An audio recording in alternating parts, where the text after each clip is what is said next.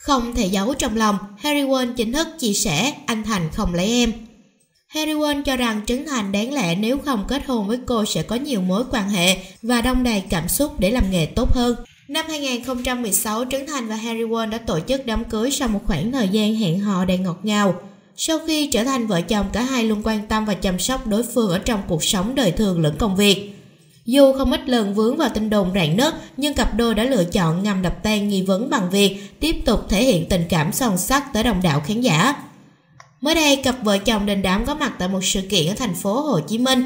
Ngoài việc nói về sự nỗ lực của bản thân trong thời gian hoạt động nghệ thuật, Harry Won còn không giấu khỏi ánh mắt ngưỡng mộ khi chia sẻ về chồng. Đầu tiên, nữ ca sĩ gửi lời cảm ơn đến những người đã hỗ trợ cho sự nghiệp ca hát của cô trong thời gian qua. Bản thân em cũng thật sự cố gắng để bản thân tiến bộ và phát triển hơn. Em muốn từ bản thân em khi nhìn lại không có bị mắc cỡ. Em muốn luôn tiến bộ hơn, lúc nào cũng muốn Harry Won thay đổi so với trước. Có thể phát âm em nói chuyện bình thường vẫn lơ lớ đúng không? Nhưng ngoài những cái bất biến đó, em có thể làm trong khả năng tiến bộ nhiều hơn. Em sẽ cố gắng làm hết sức mọi thứ. Người đẹp chia sẻ ông xã luôn ủng hộ giúp đỡ về mặt tinh thần mỗi khi có dự án hoặc chuẩn bị ra mắt MV mới. Nam MC ngay lập tức phủ nhận và cho rằng có hỗ trợ kinh tế cho bà xã. Nữ ca sĩ tiếp tục nói, tiền bạc là tôi tự lo, vừa rồi từ MV đến mọi thứ em tự lo mà không có anh. Trấn Thành cho rằng Harry Won nên nói thêm về sự giúp đỡ về mặt tài chính của anh trước đây. Tuy nhiên cô khéo léo từ chối vì xưa quá không có nhớ, nhưng nếu sau có nhớ sẽ nhắc đến chồng sau.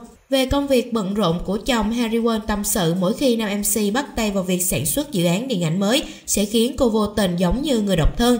Tại vì anh Thành sẽ mất khoảng chừng 3-4 tháng liên tiếp, sẽ về nhà cực kỳ trễ, sáng thì anh đi rất sớm, nên em ít khi được tâm sự với anh nhiều thứ, mà đôi khi anh về mệt quá, con em cũng mắc nói.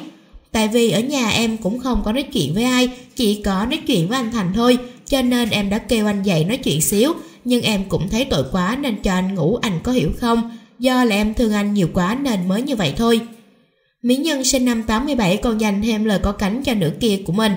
Anh Thành là một người quá có tâm với nghề, thật sự thì em có rút hết lòng và nói với anh là một người riêng em cảm thấy rất tiếc. Tại vì nếu anh Thành không có lấy em, có thể anh Thành sẽ có nhiều mối quan hệ và cảm xúc để làm những sản phẩm tốt hơn.